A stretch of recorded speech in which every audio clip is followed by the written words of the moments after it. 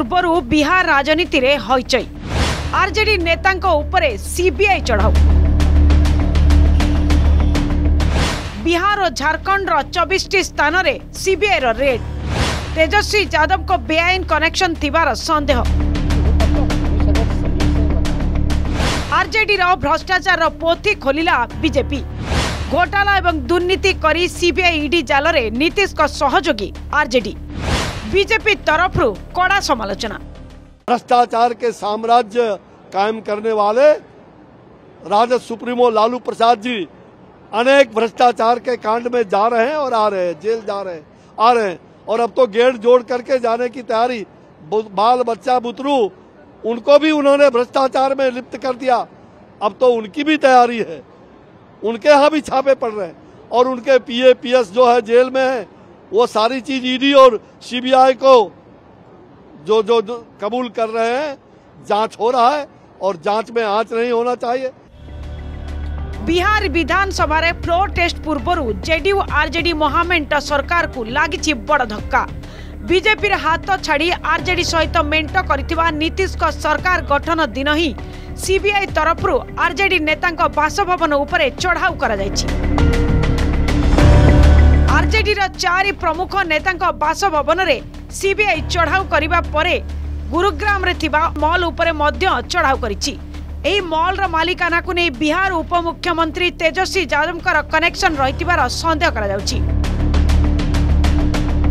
ତେବେ ପୂର୍ବରୁ CBI RJD ମୁଖ୍ୟ ତେଜସ୍ୱୀ ଯାଦବଙ୍କ ପିତା ଲାଲୁ ଯାଦବଙ୍କ ଲ୍ୟାଣ୍ଡ ଫର ଜବ୍ ମାମଲାକୁ ନେଇ ପୁଣି ଖୋଳତାଡ଼ ଆରମ୍ଭ କରିଛି ସିବିଆଇ।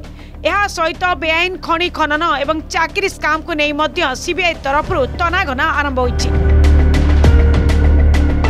ଆରଜେଡିର ଏମଏଲସି ସୁନୀଲ ସିଂ ପୂର୍ବ ବିଧାୟକ ସୁବୋଧ ରାୟ ଏବଂ ଆରଜେଡିର ଅନ୍ୟ ଦୁଇ ଜଣ ରାଜ୍ୟସଭା ସାଂସଦଙ୍କ ଘରେ ସିବିଆଇ ତରଫରୁ ରେଡ୍ କରାଯାଇଛି ତେବେ ରେଡ୍କୁ ନେଇ ଆରଜେଡି ଏବଂ ବିଜେପି ନେତା ମୁହାଁମୁହିଁ ହୋଇଛନ୍ତି सीबीआई और ईडी को राजनीतिक हथियार के रूप में इस्तेमाल करने का आपने बिहार में खतरनाक कोशिश किया है।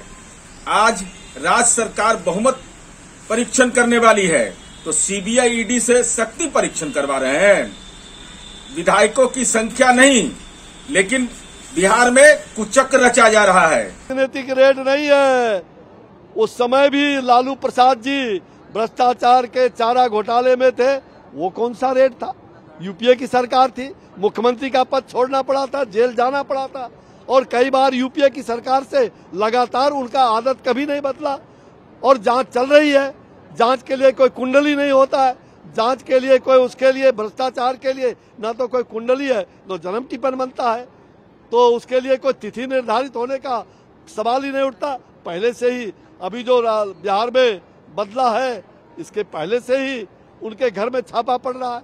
तो इसमें हमारा क्या दोष सीबीआई ईडी स्वतंत्र एजेंसी है वो जांच है है तो प्रूफ करो କେବଳ ବିହାରରେ ନୁହେଁ ଏହି ସଂକ୍ରାନ୍ତରେ ଝାଡ଼ଖଣ୍ଡର ରାଞ୍ଚିରେ ମଧ୍ୟ ସିବିଆଇ ପକ୍ଷରୁ ରେଡ୍ ଚାଲିଛି ରାଞ୍ଚିରେ ଝାଡ଼ଖଣ୍ଡ ମୁଖ୍ୟମନ୍ତ୍ରୀ ହେମନ୍ତ ସୋରେନଙ୍କ ପ୍ରତିନିଧି ପଙ୍କଜ ମିଶ୍ରଙ୍କ ଘରେ ସିବିଆଇ ରେଡ୍ କରିଛି ଅନ୍ୟ ପକ୍ଷରେ ଇଡି ମଧ୍ୟ ସକ୍ରିୟ ହୋଇଛି ଝାଡ଼ଖଣ୍ଡ ତାମିଲନାଡୁ ବିହାର ଏବଂ ଦିଲ୍ଲୀର ସତରଟି ସ୍ଥାନରେ ଇଡି ଚଢ଼ାଉ କରିଛି ଏହା କୁହାଯାଉଛି ଯେ ବେଆଇନ ଖଣି ବିରୋଧରେ ଇଡି ଏହି ପଦକ୍ଷେପ ନେଇଛି